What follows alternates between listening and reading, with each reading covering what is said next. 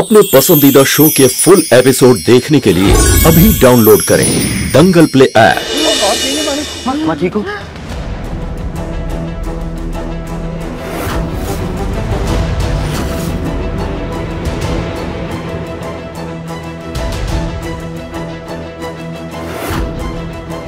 लगता है कमरे से बाहर भागने के लिए उस बहरूपे ने ये कारनामा किया है।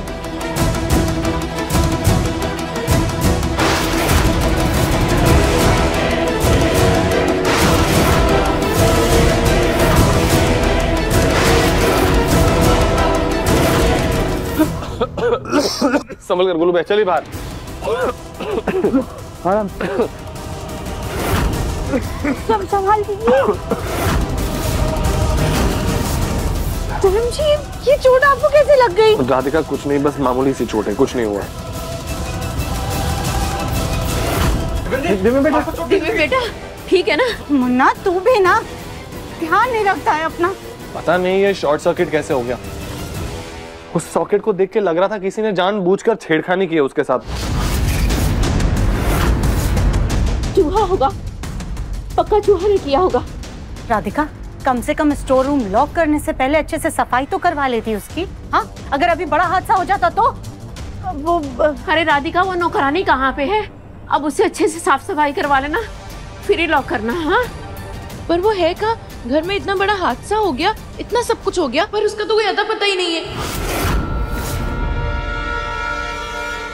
वो दरअसल वो ना आग लग गई ना तो पानी भर रही थी। हम जाकर मना करते धर्म जी आप रुकिए हम आते हैं फिर आपके हाथ में दवाई लगा देते ठीक है?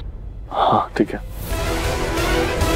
गई कहाँ वो बहरूपे घर में है या भाग गई?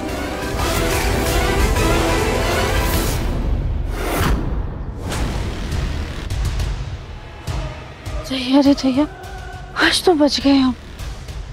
इससे पहले वो असली राधिका मेरा पर्दाफाश करे, मैं उसको ही फंसा देती। हूँ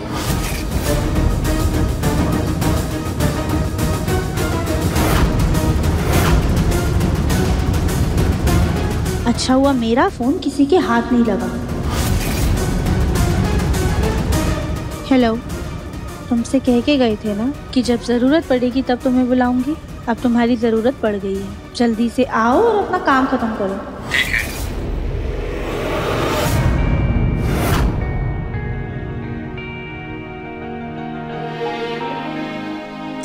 दिव्यम जी आप भी ना। आपको एकदम से ऐसे स्टोर रूम में जाने की क्या ज़रूरत थी?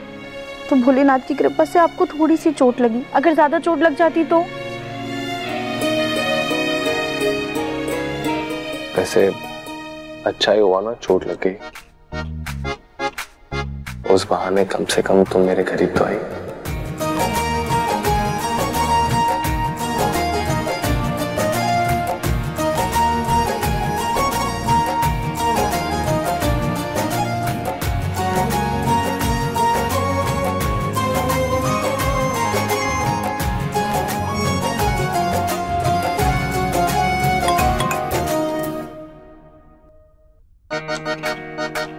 ये फ़ोन को हमेशा गलत टाइम पे ही क्यों बचना होता है?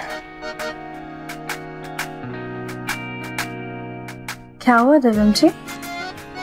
तुम खुद ही देख लो।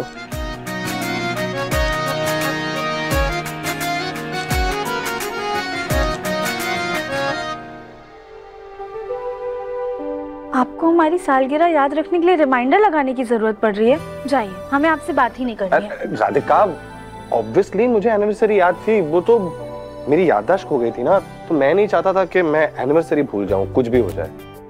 इसीलिए रिमाइंडर रखा। ओके देखो, मैं ना अपनी एनिवर्सरी एकदम स्पेशल तरीके से मनाना चाहता हूँ। पिछले कुछ दिनों से मुझे बहुत ही अजीब सा महसूस हो रहा था। लेकिन अब लग रहा है कि सब कुछ ठीक है।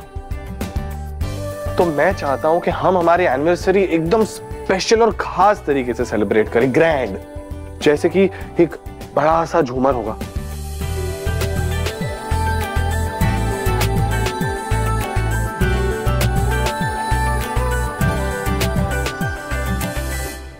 हमें दिव्यम जी को उस बेरूपी के बारे में बता देना चाहिए, वरना जब तक वो मिलेगी नहीं, हमें टेंशन ही रहेगी।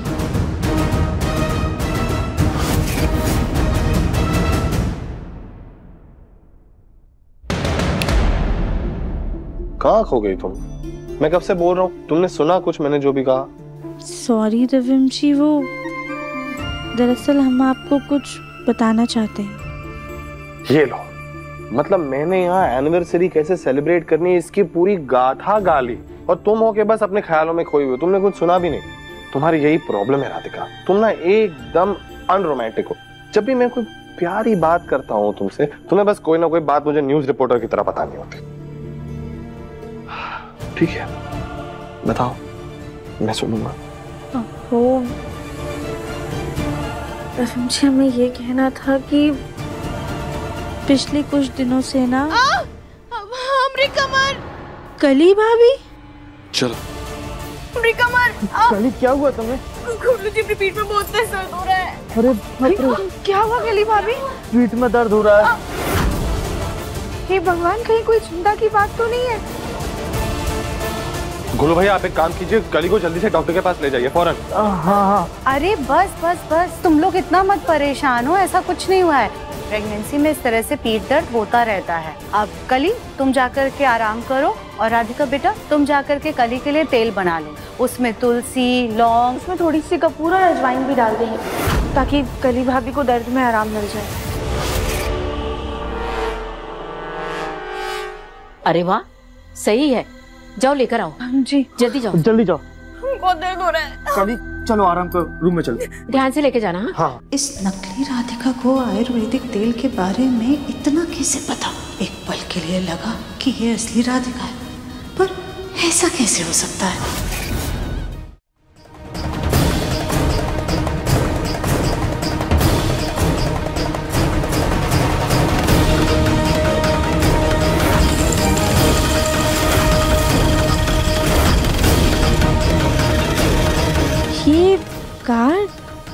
हमारे घर में तो कोई बच्चा भी नहीं है।